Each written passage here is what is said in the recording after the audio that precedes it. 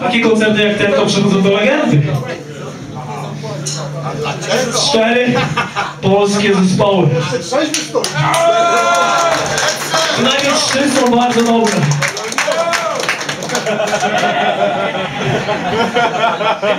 Żartuję. To jest niesamowite, można przyjechać do Rzeszowa. Większość z was to przyjezdne osoby. Nie dokucza, Więc, nie e, dokucza. Niesamowite, bo wszyscy z nas, i Patryk to powiedział, i mistrz tak samo, wszyscy, raz, wszyscy nas przyszli tutaj z tego samego powodu, przyjechali często kilka godzin. Bo Nie, chcemy się nie, cieszyć takimi Same wieczorami jak to. Nasz kierowca był słabszy. Chcemy spędzić czas w dobrym towarzystwie i chcemy posłuchać dobrej muzyki z przekazem. To jest to, co, co wyróżnia hardcore spośród innych głośnych muzyk albo subkultur.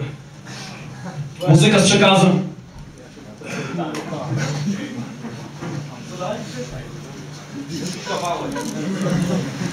Drugi kawałek!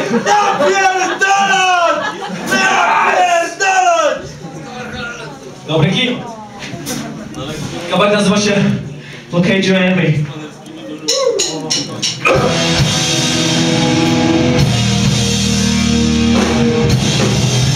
No, Don't take no